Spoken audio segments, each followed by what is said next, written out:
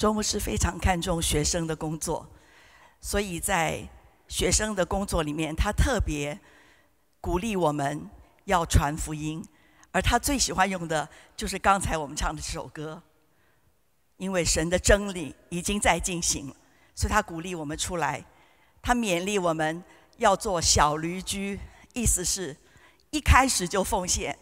当你学完之后，一个年轻人，你做的头一件事情。就应该将你自己奉献给主，然后让主能够带领你后面的路途。所以在学生会里头，我们有许许多多的人就蒙召出来。如今在世界各地有许多的传道人。而在他八十岁封口的礼拜的时候，他给了我一张他写的诗，就是下面我们要唱的这首歌。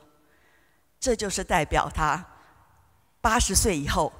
他觉得他的人生并没有完，我们以为封口了他就休息了，而不是他要做更多的事情，所以他就说要像一根蜡烛。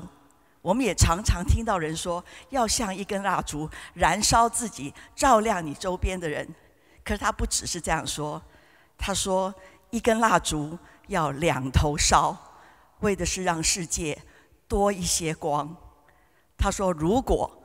断了，成为两段蜡烛，你要四头烧，因为这样子，就算是为主烧尽，又何妨？我想这就是潇洒的周牧师所留给我们最后的教导。现在我们来唱这首《蜡烛》。